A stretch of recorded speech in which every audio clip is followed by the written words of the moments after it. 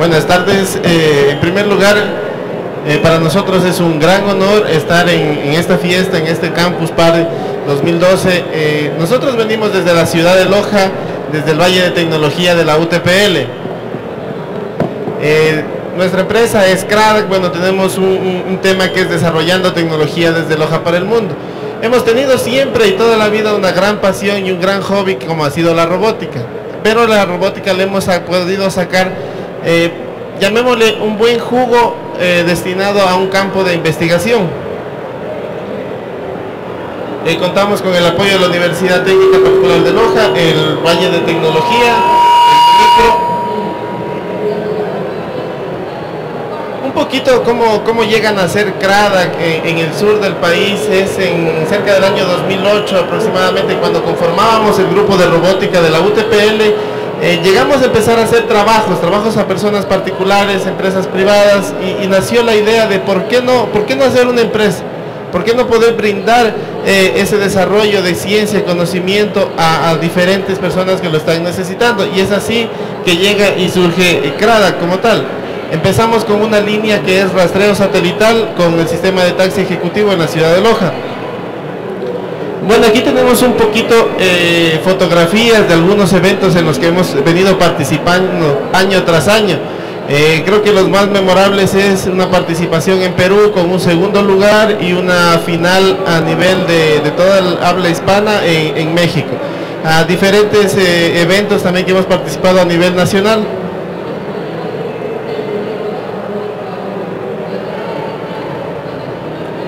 un poquito de lo, de lo que vamos a hablar el día de hoy y el día de mañana, pues el día de mañana vamos a seguir presentando otros proyectos de los que hemos venido desarrollando. El día de mañana vamos a presentar un robot que se lo puede controlar con el pensamiento.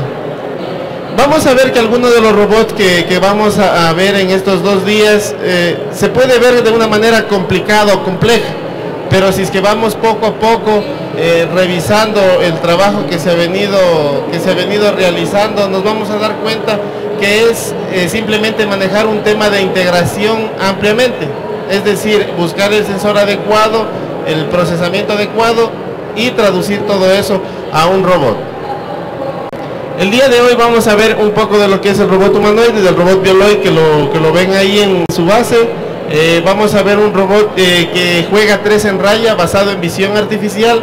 Es un robot bastante simpático ya que lleva, creo que es 4 años de vida en diferentes modalidades y hasta el día de hoy nadie le ha logrado ganar. Entonces eh, seguimos con el, con el reto año tras año para ver quién le, llega a ganar. y vamos a ver el mismo, el robot humanoide que, está allá en su, en su base controlado desde el Kinect.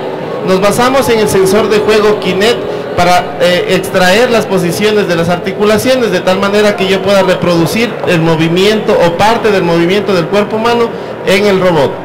El día de mañana pues vamos a ver el robot humanoide más lectura. El robot humanoide que lo ven allá se le ha dotado de un sistema de visión artificial en el cual le tratamos de que interactúe con las personas. Es decir, que si yo le presento un texto que dice hola, el robot lo sabe interpretar eh, reacciona y nos saluda. Si le digo jugar, juega, si le digo bailar, pues bueno, baila. Esas son algunas de las funcionalidades que hace. El robot Vicky es un robot que, se lo desarrolló basado en el reto DARPA. No sé si ustedes han escuchado el reto DARPA, es un sueño que, que llegamos a tener nosotros algún día participar en ese reto. Consiste simplemente en algo tan sencillo, que yo un vehículo lo puedo coger de aquí y mandarlo al centro de Quito y sin que ocurra algún accidente que tenga todo el sistema computacional y todos los sensores adecuados para que realice dicha tarea. Nosotros hemos hecho esto a pequeña escala, en un carrito de un niño, desarmamos, le dotamos de motores, de sensores y, bueno, lo que queremos ahora es tener eh, control remoto como tal. Eh, un proyecto que, manejamos en Loja, que ya va eh, tres años en Loja, que es el proyecto Genios, que es, eh, consiste en dar eh, cursos de robótica a niños en tempranas edades. Nos basamos en la tecnología Lego Maestro. Lo que permite esto es que el niño se vaya inmiscuyendo en, la ciencia y la tecnología. La robótica, yo digo, la ocupamos como una metodología. Y la idea es que se vaya formando en un ámbito técnico.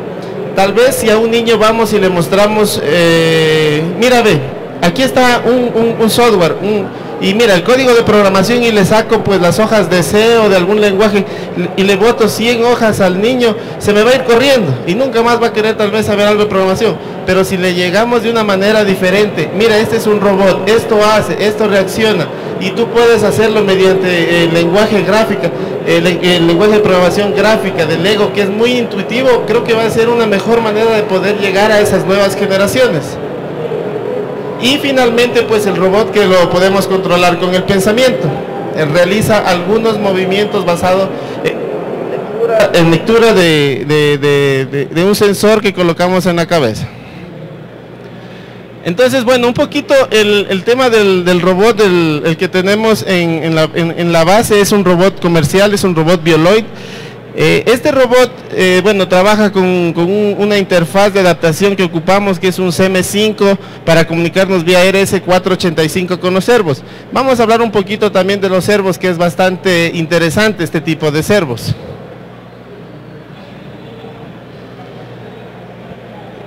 Estos tipos de servo yo ya le llamo la nueva generación de los servos. Muchos o casi todos creo que hemos trabajado con los eh, servos tradicionales, los high-tech o los Futaba, el, típico HS311. ¿Cómo controlamos esos servos? Vía PWM, ¿verdad? Creo que todos estamos familiarizados con ese concepto. Eh, pero estos servos ya dan un brinco, ya saltan eso de ahí, ya no los controlo vía PWM, ya me tengo que un poco despreocupar, que tengo que tener mi micro, que tengo que tener mis, mis ocho canales para poder controlar ocho servos, o si es que los empiezo a digitalizar, que se me empieza el robot a hacer un poco lento.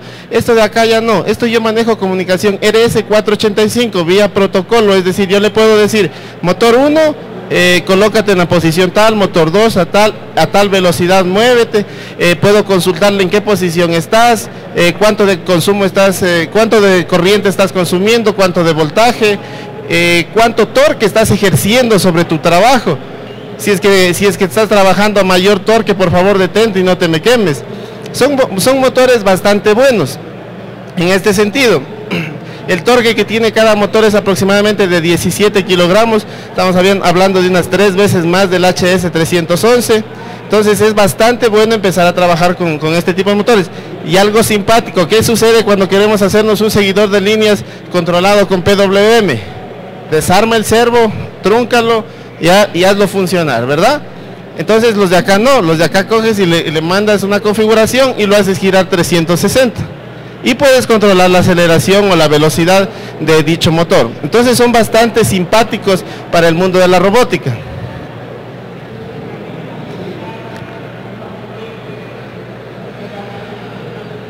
Bueno, ahí está un poquito de las indicaciones, especificaciones técnicas del, del, servo.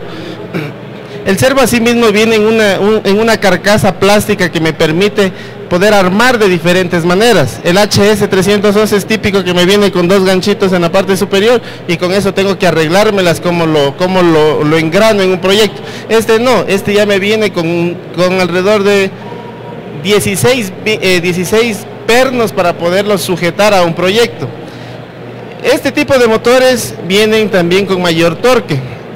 Estos motores con los que estamos trabajando tienen un costo de 50 dólares, que es un poco relativo eh, comparado con el HS 311, bueno, ahora han bajado de costo, estamos hablando tres veces más. Hay motores que cuestan 300 dólares, no recuerdo el torque, pero por ejemplo, eh, para trabajar ya con esos servos ya hay que trabajar con guantes especiales. Porque el, torque del motor puede llegar a fracturarme los dedos eh, fácilmente. Es así que hay un video que, es, simpático porque ponen un hueso de, de gallina ahí y lo que hacen lo cierran al motor y sin, sin inmutarse quiebra. Entonces imagínense con eso. Yo con este robot he, sufrido bastantes lesiones. Imaginémonos con un motor de, alto torque. Bueno, ahí está la fotografía y que más que lo puedan ver en vivo. Este robot eh, fue mi, eh, o lo trabajé en mi, en mi titulación de, de ingeniería. El objetivo de este proyecto es que el robot juegue fútbol. Entonces el objetivo es que identifique un balón de color naranja en un piso verde, que vaya, lo patee, eh, hay dos contrincantes. Esto es un concurso que se llama el RoboCup, que es, esto es de la FIRA, de la Federación Internacional de Robótica y la, ya no me acuerdo. Es igual que, la FIFA, pero esto es para fútbol robótico. El objetivo de ese evento o de ese concurso es que en el año 2050 el mejor equipo de humanos, podremos decir el hijo de Messi, el hijo de Ronaldo, eh, de todas esas estrellas, jueguen contra un equipo de robots. Y yo eh, vengo diciendo esto hace dos años, que en el 2013 íbamos a participar. El tiempo tal vez no nos permite ahora ya fuera de las aulas universitarias eh, dedicarle mucho tiempo a los robots y es por eso que este tipo de eventos ayudan a eso, a que gente como ustedes se interese en la robótica, que quiera hacer robots, que quiera programar, que quiera eh, poder llegar a participar en ese tipo de eventos, que siga investigando en este tipo de robots. Eh, bueno, eh, vamos a ver ahora también ya el, funcionamiento del Kinet como tal.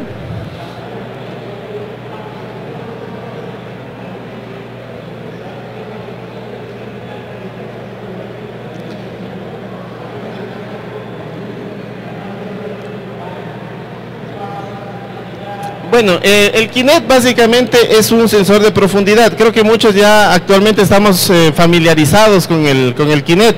Y ahora pues ya Microsoft sacó un SDK, aparte Prime Sensing, que es quien lo fabrica como tal, sacó un SDK. El SDK pues nos permite poder controlarlo desde otro software. En este caso estamos trabajando con LabVIEW. Eh, aquí hemos tenido diferentes fases de aprendizaje para poder manejar este robot. Eh, desde que nos funcionaba dos minutos y se, empezaba a dañar el Kinect, se empezaba a dañar los drivers, hasta actualmente que trabajamos con protocolo de comunicación UDP. Es eh, bueno, las especificaciones trabajan en una matriz de 3 por 20 eh, por 240, esos son los píxeles con los que trabaja. Si podemos apreciar esta imagen aquí, esto es lo que está viendo el Kinect mediante una radiación o, rayos infrarrojos y una cámara eh, estereoscópica es lo que recibe el, el, Kinect y puede detectar la profundidad de cada píxel a la que está.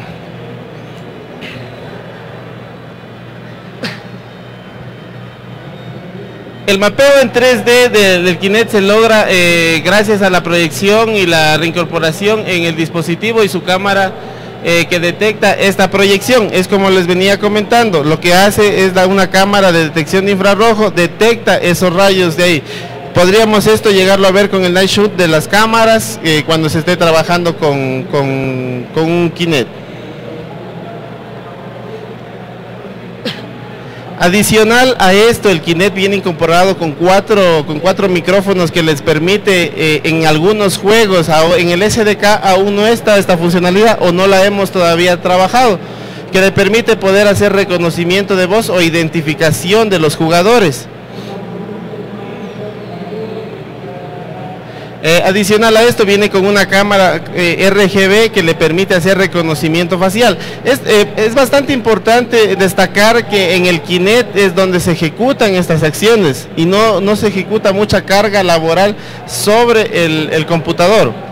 Entonces, eh, eso sí ha tenido una, ventaja, se puede decir, al, evitar procesar mucha información. Y en el SDK, ¿qué es lo que hacemos? Es recuperar eh, un, un, esqueleto que se llama, que es un arreglo de, vectores o de puntos en el cual me da la posición X, Y y Z de diferentes puntos eh, de las articulaciones de nuestro cuerpo. Son, si no me equivoco, 19 son 17 puntos que, nos, nos arroja en, una matriz de, que se llama esqueleto. Entonces lo que hacemos, eh, por eso eh, vamos a ir viendo que no es complicado lo que estamos haciendo. Más bien ha sido de, poder tener la, la, habilidad de poder integrar diferentes, diferentes sensores o diferentes cosas bajo una plataforma que se llama Labio. Eh, bueno, el robot Bioloid que ya lo, ya lo, ya lo estuvimos conociendo un poco. Eh, ahora vamos a empezar a, ya hacer un poco de demostración de los diferentes robots.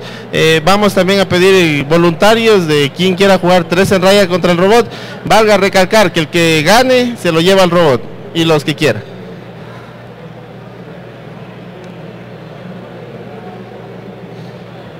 Para obtener los datos del esqueleto que les decía, se ocupó librerías de Prime Sense.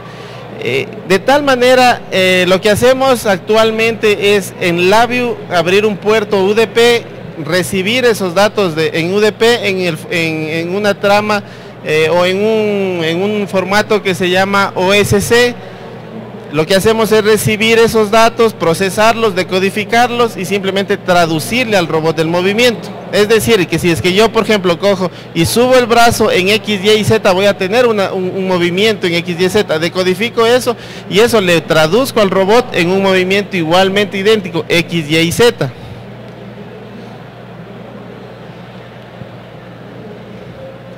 Como les comentaba, eh, se trabaja bajo el protocolo ESC, que es Open Source Control, que es mucho más sencillo que trabajar con el SDK directamente con Labio.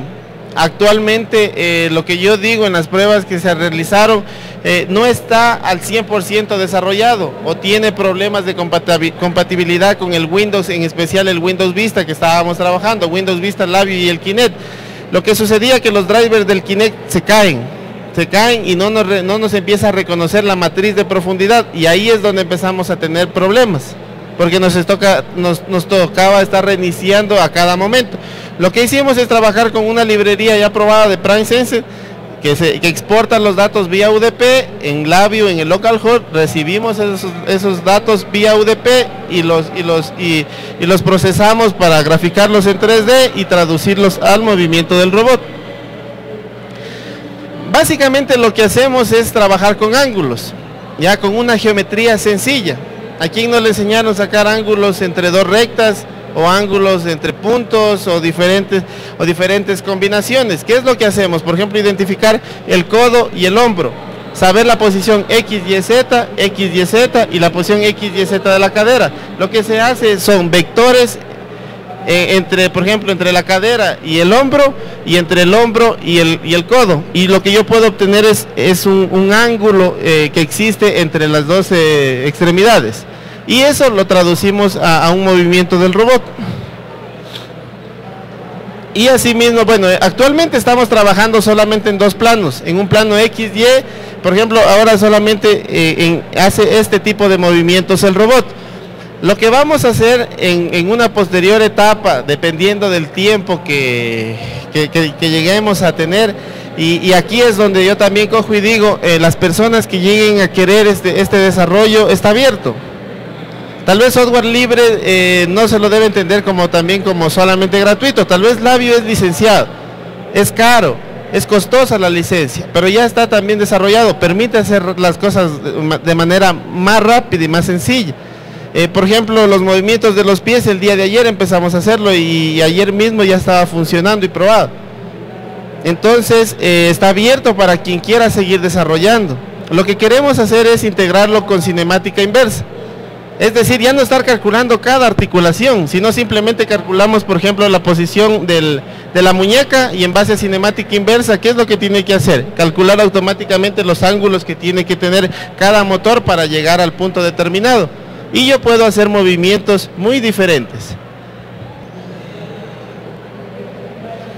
Eh, bueno, ya lo vamos a conectar también cuando esté funcionando, pero así es como ve el, el Kinect eh, cuando está un usuario al frente, al frente de él. Eh, vamos ahora a pasar a la parte divertida, si se puede decir, de, de la exposición, que es trabajar con los robots. Eh, no sé si ya tenemos Javier el, el 3 en raya.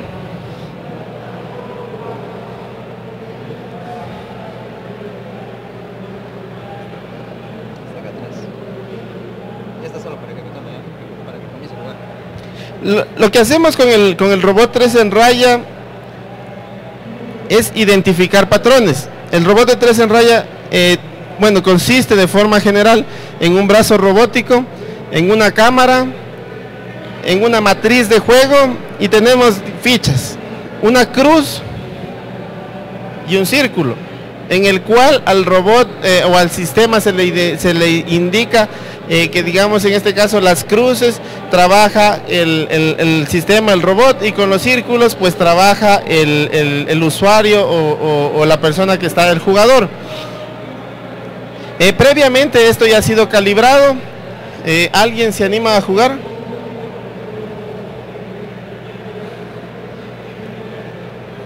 A ver, si gana, se lleva el robot. ¿Y si pierde? si pierde, ¿qué? Se va a trabajar en el oriente. que baile. No, ya, vamos, vamos. Solo jugamos. Eh, con los círculos juega usted. Se le da la ventaja que pueda hacer el primer movimiento el jugador.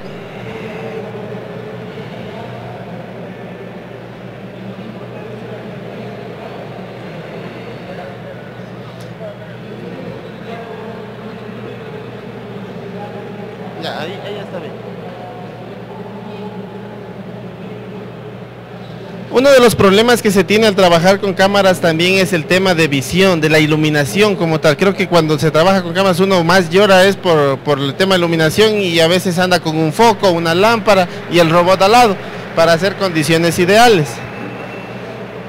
En este caso eh, teníamos bastante este problema y se evitó trabajar con colores, se lo hizo monocromático y se como que se ahorró un poquito de sufrimiento.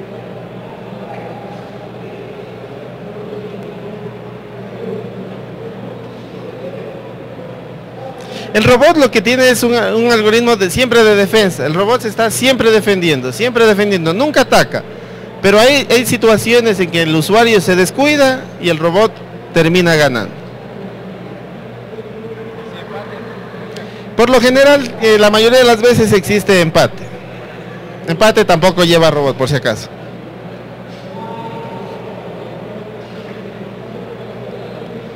Es bastante interesante este tipo de robots. uno de los objetivos que a mí siempre me, ha gustado es que los robots se trate de interactuar con las personas. Porque un robot no tiene que ser algo que solamente yo lo veo y no lo puedo topar o no puedo interactuar con él. La idea es que yo pueda eh, jugar contra el robot o, tratar de combinar movimientos con el robot o hacer algún sinnúmero de cosas. Este robot se lo elaboró pues cuando estábamos en sexto ciclo de universidad aproximadamente. De ahí acá no ha llegado a tener en realidad mejoras significativas. Muchas las veces cuando, cuando salimos a un evento son dos, tres días antes que le dedicamos tiempo. Y es ahí donde, vuelvo y repito, se necesita de más gente que quiera seguir trabajando en este tipo de robots. En Loja estamos empezando a trabajar con, nuevamente en conformar el grupo de robótica y es así que las personas que me acompañan acá son mis compañeros del nuevo, de nuevo grupo del club, del club de robótica de, la UTPL. Eh, ahora vamos a ver el, el Bioloid.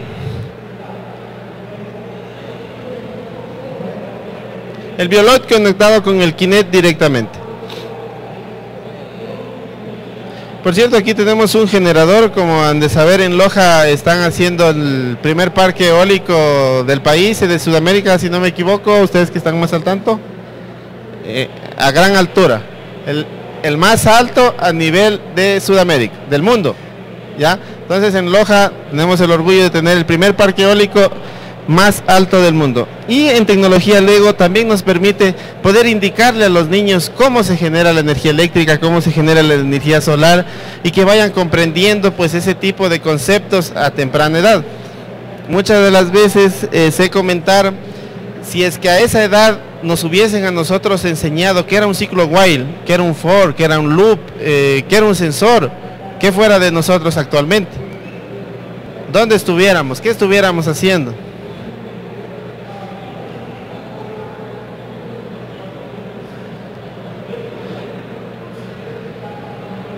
Como pueden ver, eh, la imagen en, diferentes tonalidades entre blanco y negro, eso es lo que está viendo el Kinet.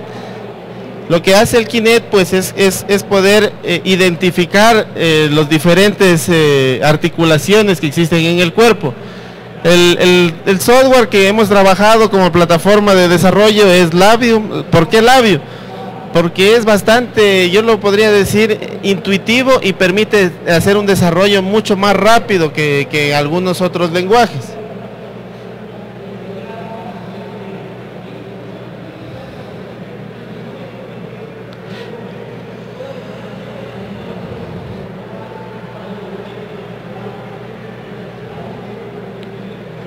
Eh, en la parte de atrás de la imagen pues podemos ver un, modelo en 3D también que nos ayuda pues a hacer una co-simulación de lo que se está trabajando. Muchas las veces este tipo de desarrollos eh, se necesita dos personas, una que sea el programador y otra que esté de modelo.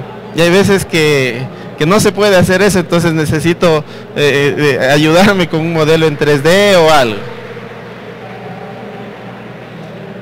Son movimientos un poco básicos que se están haciendo. Pero eh, me atrevo a decir que, somos pocos los que estamos eh, trabajando en, este tipo de, desarrollo en, robótica. Y como podrán ver, no es difícil. Les he dicho, por ejemplo, que para mover un servomotor, ¿yo qué tengo que decirle? Vía serial, vía RS485. Me olvidaba de un detalle, los motores se comunican a un millón de baudios decirle motor 1 ponte en el ángulo tal, motor 2 en el ángulo tal, ¿ya? Primer paso para, digamos, trabajar con el robot. Segundo paso, con el Kinet yo ya me conecto con el Kinet, recibir una tramo de P, descifrar esa tramo de P, yo ya tengo el punto X y Z. Ya, luego, ¿qué tengo que hacer? Utilizar geometría, geometría que no es muy complicada, no tengo que irme a, ver eh, cálculos extremadamente complejos eh, geometría espacial en la cual puedo descifrar el ángulo. Ese ángulo le paso al motor y listo. El robot está funcionando en base a un kinet. Yo me atrevería a decir que, cualquiera en unas, eh, bueno, en medio día de trabajo o un día de trabajo lo podría tener haciendo. Mi idea no es, eh, no es que se lo vea complejo el proyecto, sino en, realidad que sea lo más sencillo posible de captar para que se puedan animar a seguir desarrollando. Y los movimientos son, son, son un poco básicos en el plano X, Y, en el plano Z aún no se, no se mueve nada como les comentaba, lo único que teníamos, en el primer día que trabajamos solamente subía y bajaba los brazos, en el segundo ya movía los codos, de ahí tuvo una para de, mucho tiempo el proyecto eh, que estaba reposando. Y el día de ayer que llegamos, nos tocaba exponer hoy día, dijimos, ¿por qué no es que se muevan los pies? O las piernas, y eso es lo que se hizo el día de ayer.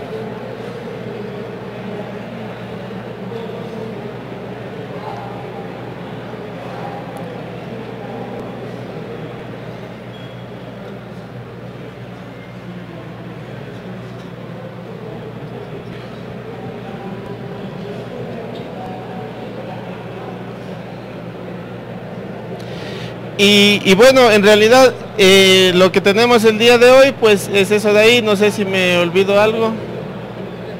Ah, ¿quién quiere hacerlo mover al robot? ¿Ya? 10 dólares, por favor. Un tema de cuando se hace robots es el presupuesto.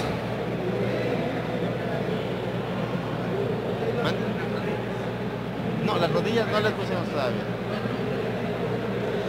Lo que tiene que hacer primero es una fase de calibración. El Kinect para identificar un usuario un jugador pues tiene que tener esta posición. Aquí lo que está haciendo, ahí encontró el nuevo usuario 1 y está calibrando.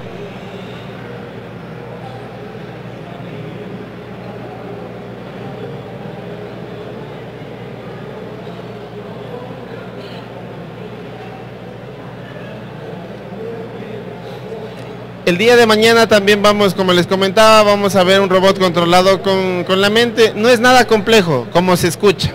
Tal vez escuchar eso no sea de muy cerca de escucharlo aquí en Ecuador, pero no es nada complejo, no es nada del otro mundo.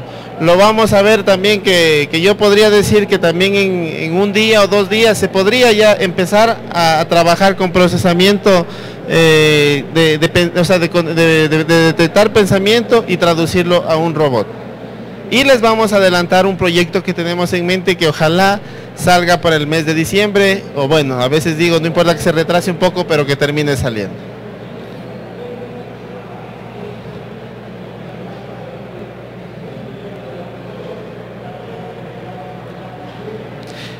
Y este tipo de cosas podríamos hacer o ir desarrollando más cosas. Por ejemplo, eh, he visto que hay eh, eh, en, los patios de juegos, hay unas, unas mesitas que uno va pisando de acuerdo a cómo le van saliendo en, la pantalla. No, no, no sé el nombre exacto de cómo es ese juego, pero imaginemos que en vez de eso sale un robot bailando y yo lo tengo que imitar al robot y que me califique. Digamos que es un karaoke, pero acá es algo de baile o alguna cosa muy muy parecida y algunas cosas más. ¿Alguien más quiere hacerlo mover al robot? 10 dólares más, por favor.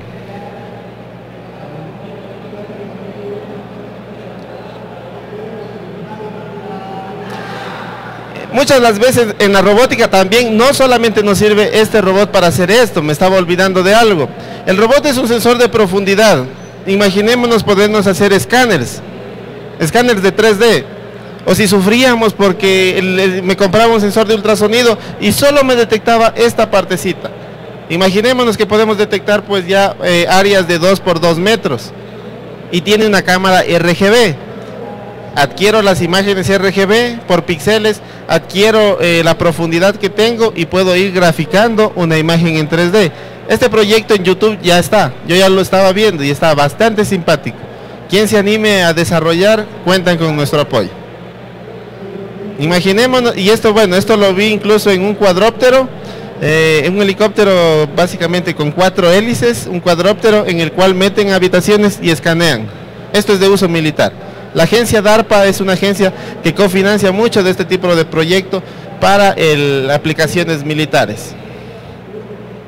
Eh, más tarde también justo está llegando el cuadróptero que eh, tenemos. Eh, más tarde vamos a estar haciendo unas tomas aéreas, Carlos, del campus.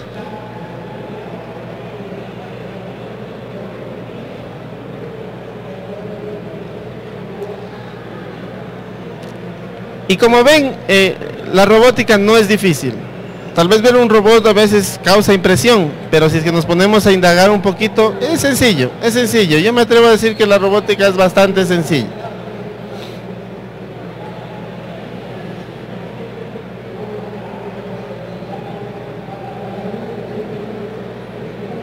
Cuando ya tengamos resuelta la cinemática inversa de, de los brazos y piernas, imaginémonos las combinaciones de movimientos que podemos hacer. Y si es que le ponemos un giroscopio al robot, y que tenga control, o sea, retroalimentación también, que sea un lazo cerrado. ¿Qué podemos hacer? Ahí sí ya podemos hacerlo caminar. ¿Por qué le pusimos la base? Porque uno hace el pie y ¿qué pasa con el robot? No tiene retroalimentación, no tiene cómo compensar el equilibrio, no tiene una parte de control. Falta hacer mucho en la robótica, falta hacer bastante. ¿ya? Y las cosas dependen de cada uno, de cada uno de los que estamos aquí. Eso es todo por el día de hoy. Muchísimas gracias. Si tienen preguntas, por favor.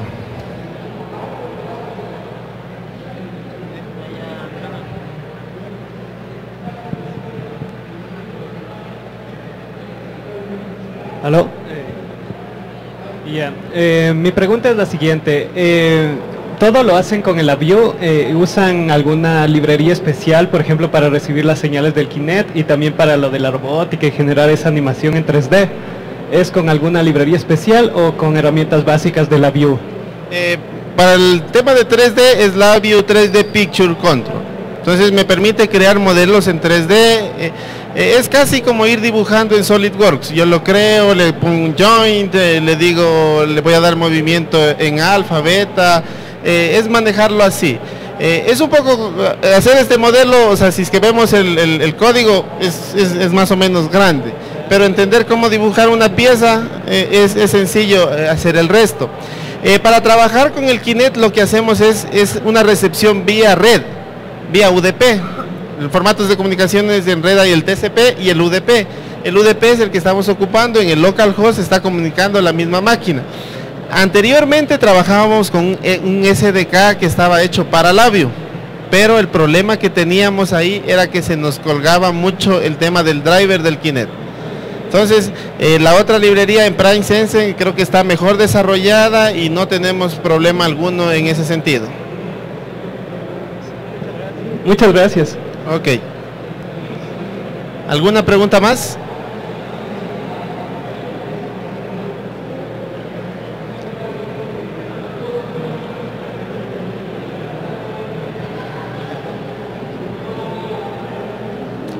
Bueno, primero con todo felicitaciones por sus proyectos, eh, se ve que son interesantes. Mi pregunta va acerca un poco más del Kinect. Veo que ese Kinect es para el Xbox 360. No sé si ustedes han probado el Kinect para Windows que recién, recién salió. Y si es así, me podrían decir las ventajas que tiene el Kinect para Windows en relación a este Kinect for eh, Xbox 360. Claro, sí, sí le revisamos, digamos, lo sabíamos acerca del Kinect para Windows. La diferencia principal es el enfoque. Este Kinect, como está para Xbox 360, también tiene para dentro de la Xbox para múltiples usuarios, juegan dos personas a la vez los juegos. Entonces, digamos, la distancia focal es más alejada, hacia unos 3 metros. Es la distancia óptima para estar del sensor y que te pueda detectar el esqueleto y todo. El, eh, el Kinect para Windows es más cerca. Tú te lo puedes poner a un metro y te detecta el rostro, las, eh, tus eh, facciones, si, te, si sonríes, si guías el ojo, todo eso puede hacer. Tiene, el enfoque es más cerca el del el, que, el Kinect para Windows. Y también otro, otra nota aparte es, por ejemplo, este Kinect para Xbox 360, si desarrollas alguna aplicación, si desarrollas alguna aplicación y luego la quieres vender para Windows, un programa, un juego para Windows, tienes, tienes que tener, eh, la persona que va a jugar ese juego para Windows debe tener el, el Kinect de Windows. No funciona el Kinect de Xbox 360. Esa es otra, digamos, desventaja. Pero si solo vas a desarrollar algún proyecto, puedes ocupar cualquiera de los dos. Y recientemente el SDK que salió a mediados de agosto, no sé si le coge para Xbox 360, porque ese SDK es para Windows, para Xbox, para perdón, para Kinect, para, para Windows. claro, sí, existen varios SDKs, eh, pero decidimos utilizar este que de Prime Sense debido a que nos, eh, nos botaba los datos por UDP y nosotros podíamos utilizar eh, Python, C++, C Sharp, cualquier tipo de lenguaje de programación para capturarlos. Y como el robot ya lo tenemos en Labio, lo, podemos controlar súper bien desde Labio, era muy fácil hacer la interfaz con, eh, con Labio. Windows SDK tenemos que trabajar un poco más para que pueda integrarse con Labio, mientras que el, el, código abierto, los drivers abiertos ya, ya son, son sumamente sencillos. Porque Windows siempre trata de ser un poco más cerrado, llevarte más solo Windows. En cambio, la otra compañía sí es más abierta a lo que tú quieras. Gracias.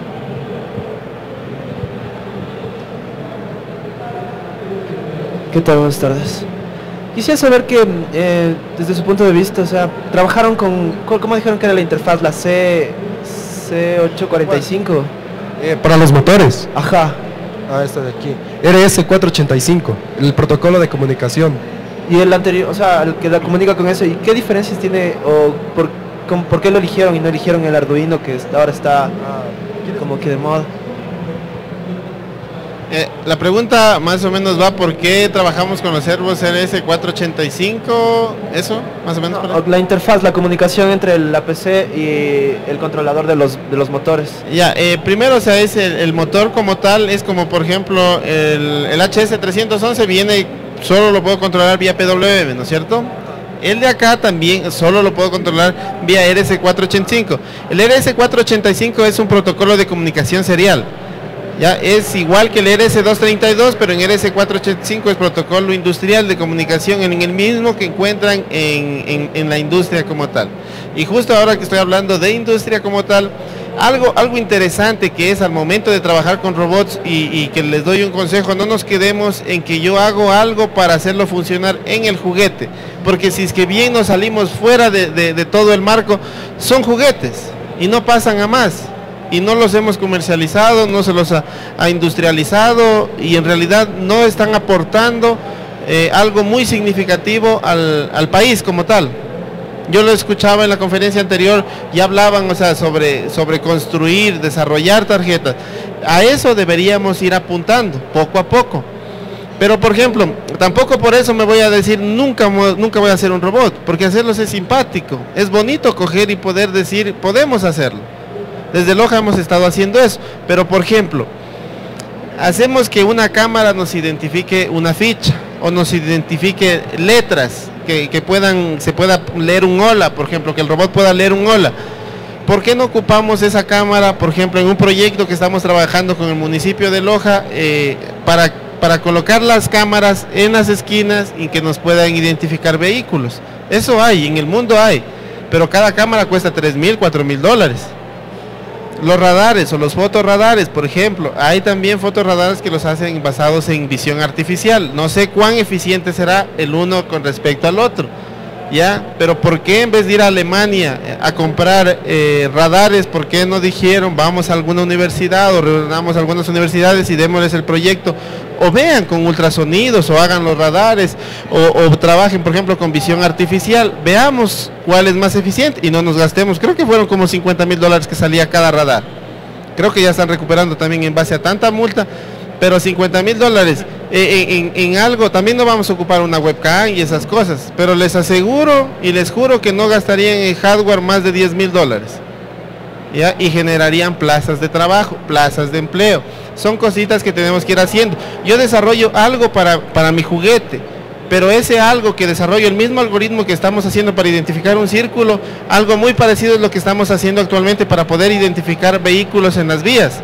Y eso lo ponemos a un controlador de tráfico. ¿Y qué me hace el controlador de tráfico? Lo que me hace un policía cuando está en la calle. Me dice, veo que donde tengo más flujo vehicular o más vehículos y le doy paso a ellos. Y le doy un grado de inteligencia al semáforo como tal. Es, es algo, algo que, que- que se me había quedado de poder acotar. Eh, bueno, eh, felicitaciones primero por los proyectos. Y yo tenía una pregunta. O sea, según lo que, lo que hemos visto, todos los robots son controlados por el procesador de la computadora. Entonces, eh, ustedes viéndole un poco más, un proyecto más adelante, ¿cuál les parece una buena ventaja para ya que no dependa de la computadora? Por ejemplo, un Arduino, un microprocesador. Yo personalmente me inclinaría con un ARM que creo que son ahora el boom de los procesadores. Y actualmente hay eh, el problema, por ejemplo, de, ponerle a un robot un computador es el tamaño. Pero actualmente los ARMs ya vienen con sistema operativo y vienen en tamaños bastante reducidos. Es así, por ejemplo, ese robot de allá, yo me inspiré en el robot que, se llama Darwin, que es del Virginia Tech, que juega fútbol, incluso ahora lo sacaron ya como robot comercial, se llama Darwin igual. Eh, ellos trabajan con un computador, en ese tiempo era un, no me acuerdo, pero ya tenía sistema operativo y ya trabajaban con ese tipo de cosas. Hay veces que también tenemos que brincarnos. Yo amo los procesadores, me gusta programar en- con microprocesadores, pero a veces hay que también eh, saber dejar de lado y brincar a un sistema operativo. Hay veces también que, ¿para qué voy a meter un, computador? ¿Por qué no programo en- en, eh, eh, con un microprocesador. O sea, hay que siempre saber definir el proyecto y el alcance que va a tener. Por lo general siempre hemos trabajado con visión artificial, entonces hacer eso con microprocesadores hay como. Pero eh, un tema que carecemos nosotros al menos es tiempo. Nosotros ya estamos fuera, o al menos yo y, y- y- y Ernesto ya estamos fuera de las aulas universitarias. ¿Ya? Y ya tenemos también que ver un poco por nuestra empresa, ver cómo, cómo salir con los proyectos que tenemos y cómo seguir desarrollando tecnología. Entonces, es un poquito el tiempo también que, que se tiene. ¿Alguna pregunta adicional?